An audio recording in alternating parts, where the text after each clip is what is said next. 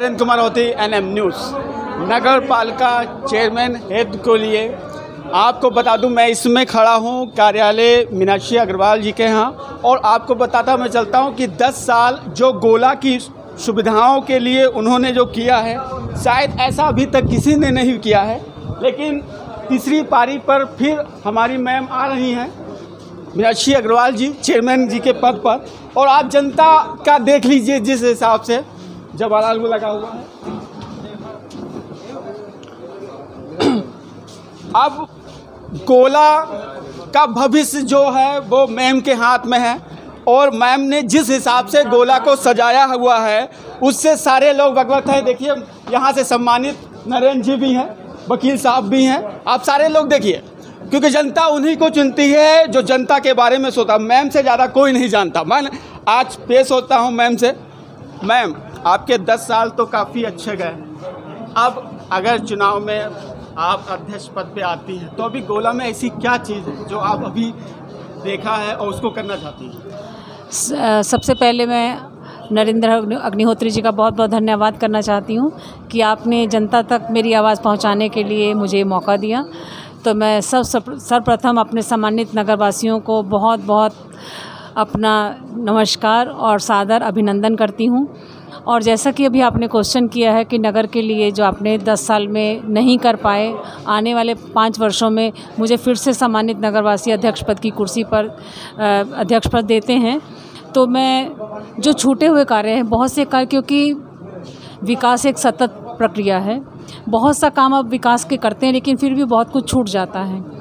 तो कई काम अधूरे हैं उनको पूरा करने का लेकिन आपने देखा होगा शहर में हमने बहुत से हाई मास्ट लगाए हैं पूरे शहर को जगमगाया है और अपने जो पोल हैं उस पर तिरंगा लाइट का काम चाहे वो शहर में शौचालय का है चाले चाहे नाले नालियों का है पक्की सड़कों का निर्माण किया है और भी सड़कों का चौड़ीकरण किया। टॉयलेट वगैरह पिंक टॉयलेट भी महिलाओं के लिए और उसके बाद आपने देखा है कि हरे भरे पेड़ शहर में जो भी शरीर शहर की ज़रूरत थी, उसको पूरा करने में मैंने प्रयास किया।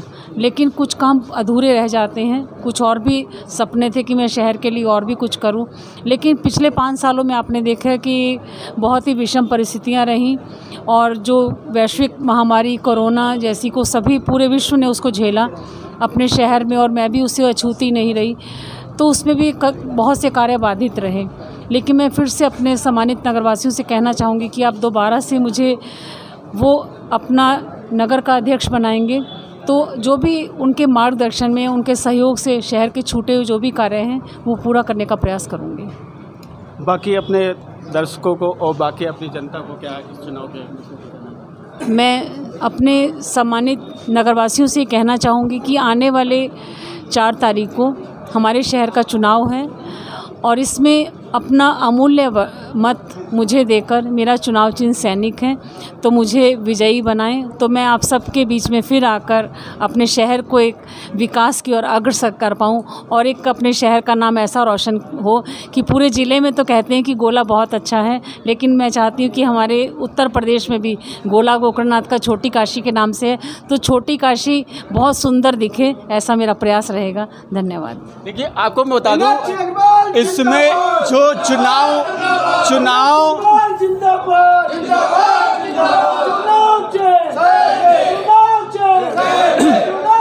देखिए जनता में आगोश देखिए।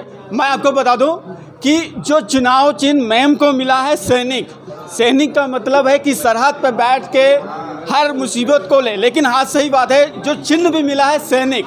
आप पहले भी मैं बता दूँ इस सैनिक मैम की तरह कोई ना सैनिक हो सकता है क्योंकि मैम ने बाकी में एक सैनिक होके कई परिस्थितियाँ भी इनके बीच में आई और लेकिन उससे छुटकारा पाके भी उन रोडों को लेके हो या गोला का विकसित कर उसमें भी कई समस्या आपको हमें दिखा है हाँ। कि पता भी चला था आपका समस्याएँ भी बहुत आई हाँ नहीं जो अभी मैं अभी भी जो जा रही हूँ तो जो अभी आपने देखा कि इंक्रोचमेंट जो था उसको प्रशासन के द्वारा जो हटाया गया तो अभी मैं जब सड़कों पर निकली हूँ तो बहुत से नाले खुले हैं तो उसको मैंने कल ही मन में बात आई कि उसके लिए सबसे प्रथम प्रयास मेरा यही रहेगा कि शहर के जो नाले हैं, उसको किसी भी तरह से कवर कवर करके कि गंदगी उसके अंदर ना जाए और उसको जैसे सफ़ाई करने तो बहुत अच्छे तरीके से उसकी सफ़ाई हो सके।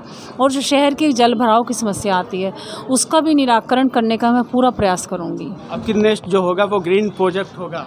नेक्स्ट देखा जाए तो। हाँ क्योंकि बहुत सी सड़कें भी ऐसी रह भी गई हैं कि जहाँ पे पेड़ नहीं लग पाए।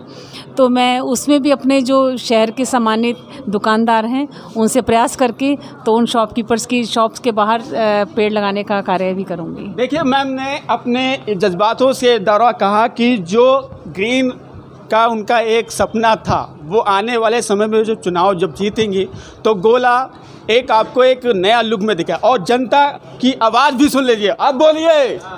मीनाक्षी अग्रवाल जिंदाबाद। जिंदाबाद जिंदाबाद मीनाक्षी अग्रवाल जिंदाबाद। आप देख सकते हैं जोश कितना है और आपको बता दूँ हमारे सामने मीनाक्षी तुम संघर्ष करो। हम तुम्हारे साथ हैं। मीनाक्षी तुम संघर्ष करो। हम तुम्हारे साथ। और आपको बता दें जनता में सबसे बड़ी बात यह है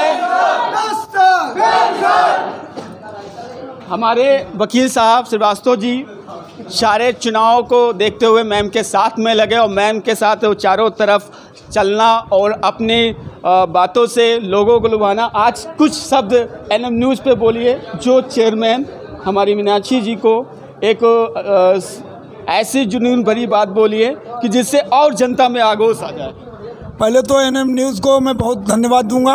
माननीय श्रीमती मीनाक्षी ग्वाल जी चेयरपर्सन के रूप में छोटी काशी गोला गोकरनाथ की अनवरत दस वर्ष से सेवा कर रही। उससे पहले भी कर रही। क्लीन गोला ग्रीन गोला स्वच्छ गोला बनाने के लिए काम कर रही। जो कार्य कुछ अधूरे रह गए कुछ लोगों ने उसमें दिक्कतें पैदा की। जनता जानती है। उन सबको जनता जवाब देगी और जो काम रहेगा उनको बढ़िया काम करेंगे क्लीन गोला ग्रीन गोला बनाएँगे।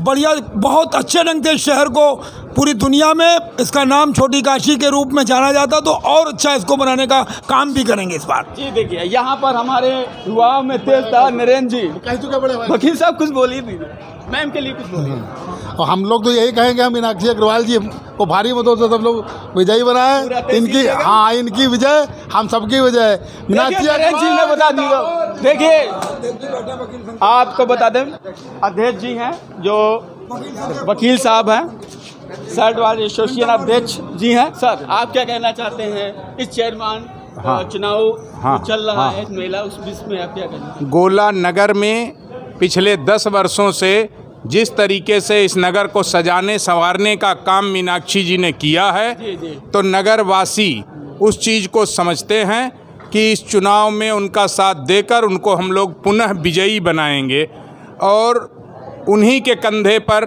इस नगर की ज़िम्मेदारी रखेंगे ताकि आगे आने वाले समय में भी जो है नगर और विकसित हो। जैसा कि छोटे भाई अभी मनोज जी ने कहा कि इसका नाम पूरी दुनिया में छोटी काशी का विख्यात है। तो इस, इसके और आगे जो इसके विकास के लिए और इसे ऊंचाइयाँ और बुलंदियाँ देने का जो काम अभी तक मीनाक्षी जी ने किया उसको आगे ले जाने के लिए वो आगे भी कृत संकल्प हैं और उन्हें विजयी बनाने के लिए हम लोग कृत संकल्प हैं। मैं वकील संघ का अध्यक्ष हूँ। हमारे तमाम वकील आज दोपहर में यहाँ पर एकत्र हुए थे और सभी ने उनको समर्थन देने का साथ दिया है और हम अधिवक्तागण जिधर निकलेंगे तो एक माहौल तैयार कर रहे हैं हम लोग। पूरे नगर के अंदर सिर्फ़ दो लाइनों में ये बात कहूँगा कि हम वो दरिया हैं हमें अपना हुनर मालूम है। जिस तरफ़ हम चल पड़ेंगे रास्ता बन जाएगा। जय हिंद जय भारत। देखिए यहाँ पे साहब माता जी यहाँ पे पत्नी जी हैं मैं इनके विचार रखना चाहता हूँ। क्या आपके विचार हैं? माननीय मीनाक्षी अग्रवाल जी का चुनाव एक व्यक्ति नहीं लड़ रहा है गोला गोला नगर के परिवार पूरे पूरे परिवार परिवार के मुखिया चुनाव ये लड़ रहे हैं। सब लोग अपनी ज़िम्मेदारी समझ रहे हैं और इसीलिए माननीय अध्यक्ष जी ने पूरे गोला नगर को पूरा परिवार माना है अपना। तो परिवार के मुखिया होने के कारण परिवार का हर सदस्य इस चुनाव में चुनाव लड़ रहा है। सबका समर्थन सबका आशीर्वाद प्राप्त है। भाइयों बहनों का प्यार और बुज़ुर्गों का आशीर्वाद इस चुनाव में मीनाक्षी जी के साथ है। सफलता आम जनता की होगी कि लोकतंत्र में जनता मालिक है। और जनता पुनः मीनाक्षी अग्रवाल जी को नगर की बागडोर सौंप करके भगवान भोलेनाथ की धरती पर विकास कार्य को आगे बढ़ाएगी। इन्हीं शब्दों के साथ मैं देखिए, अभी बात हो रही चेयरमैन के पद उन्होंने जिस हिसाब से बात कही, आपको बताया दस साल के अंदर गोला को काफ़ी चमकाने में मीनाक्षी जी का काफ़ी हाथ रहा और जनता भी आवाज़ उठा रही है गली और नुक्कड़ और गलियों से। आपको पता होगा कि जब मैम हुई थी तो लोगों की गली और गली के अंदर, आज रोडें ऐसी हैं कि गलियों के अंदर गलियाँ बनी हैं इंटरलॉक क्योंकि अभी तक ऐसा नहीं हो आप किस बारी जो है, मैम तीसरी पारी पे आ रही हैं, चुनाव घंटी बज चुकी है। मैंने गलती कैमरामैन सुरम मिश्रा के साथ जय हिंद।